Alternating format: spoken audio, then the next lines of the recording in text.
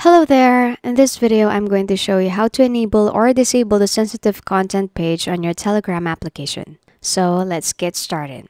Disclaimer, NSFW content is enabled in Telegram. In any case that you have encountered errors with links or secured content, this might do the trick. This will not completely fix it, but it may help you out in filtering your messages. Firstly, open your Telegram application on your device. Go to the Settings menu. Scroll down until you see the option for Privacy and Security. Click on it.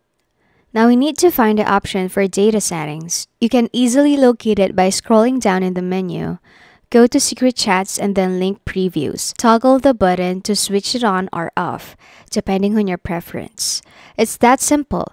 Thank you so much for watching this video. If you found it helpful, please give it a thumbs up and don't forget to subscribe to our channel for more useful tutorials. See you in the next video!